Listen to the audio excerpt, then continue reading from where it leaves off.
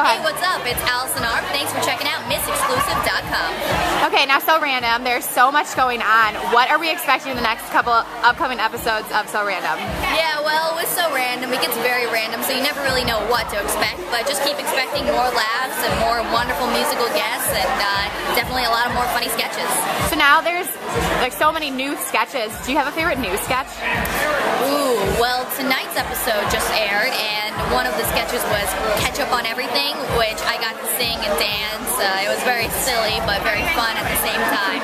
And that was like one of the best moments of my life, just filming that sketch. And so I was very happy it's uh, out now and everybody can see it. And I hope you guys all like it.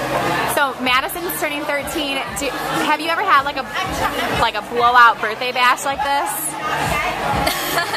no, I've never had a huge birthday party like this before. This is uh, very, very fun. It looks like I'm so excited to get in there. Yeah, my, my parties uh, are usually a little bit more low-key than this, but my dad, he's a musician, so he has a recording studio uh, where our garage used to be, and so when I throw parties, I kind of throw it in there, and then I just play music, my friends and I hang out, so it's, it's always fun, but this looks like it's going to be a uh, night to remember.